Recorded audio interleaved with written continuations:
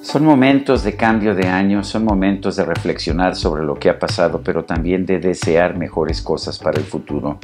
Yo, a los lectores de la revista Vértigo, lo que puedo desearles es vivir con mayor felicidad. Para eso es la vida, para vivirla feliz. Fuerte abrazo a todos los lectores de Vértigo, yo soy Sergio Sarmiento.